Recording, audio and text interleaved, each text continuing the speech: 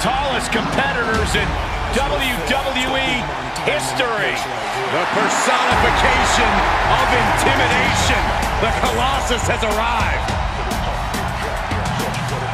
The following contest is scheduled for one fall. Making his way to the ring from Lagos, Nigeria. Weighing in at 400 pounds.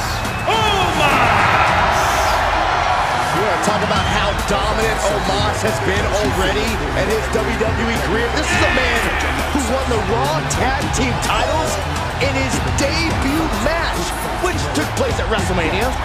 And in the days since, Omos has scored major wins against superstars the caliber of Riddle, even his former tag team partner, the phenomenal AJ Styles.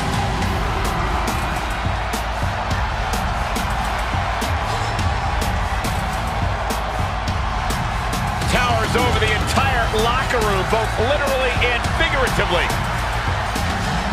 Who in the world can take down this Colossus known as Omos?